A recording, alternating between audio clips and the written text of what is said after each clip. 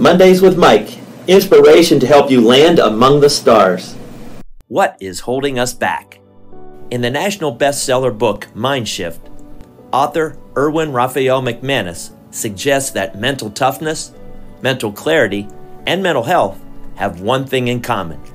The journey begins in our mind. We must trade beliefs that limit our potential for ones that help us move toward optimal performance.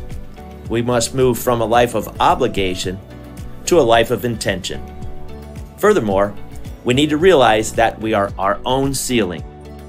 We tell ourselves the following stories I'm too damaged to ever be healed. I've made too many mistakes to make something of my life. I just can't get a break. I would have accomplished so much more if others hadn't held me down. I'm the victim of an unfair system. And on and on it goes. These self limiting stories become endless. We build these boxes in our minds as a way of limiting our responsibility. We have built ceilings that are not really there. They create mental rigidity. My personal pep talk around this concept is that our response is our responsibility.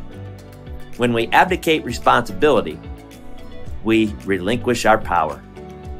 We can reshape our thinking and blow the lid off those ceilings by incorporating the following self talk provisions. Make room in your soul for the things that make you a better human. Be ruthless in eliminating everything that is not a reflection of your best self. Listen to your I will voice instead of your will I voice. Give of your unique gifts and talents. When we contribute in even the simplest ways, our self worth improves. We need a self worth bank account to draw from when life's hard spots surface. This week, let's step out boldly with one new intentional step to build our personal power. This response is truly our responsibility. Have a breakout week.